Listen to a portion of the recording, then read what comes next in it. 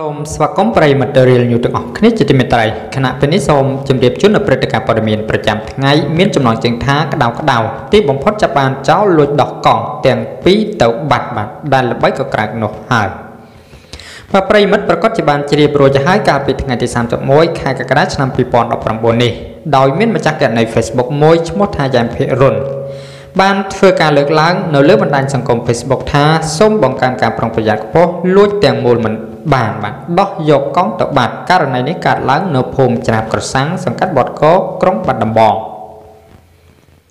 មកខេត្តបាត់ដំបងក្បែរស្ថានីយកសិកម្មម្ចាស់ម៉ូតូឈ្មោះថារឿនហាប់បាទវឿនហាប់បាទសំទោសផង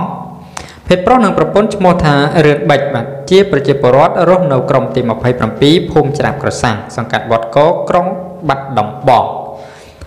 មកវេលាម៉ោងប្រហែលជា10ខណៈពួកគាត់ទៅបាជីដាក់ស្រែប្រភពលោកអង្គហឆាត់ចូលក្រមសាលាសង្កាត់វត្តក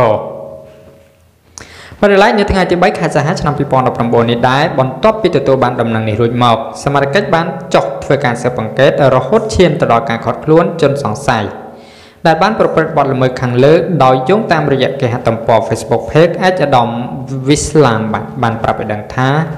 សមត្ថកិច្ចចាប់បានហើយលោកបងទាំងពីរនាក់ដែលលួចម៉ូតូមិនបានក៏ដាច់ចិត្តបានលួចដោះកង់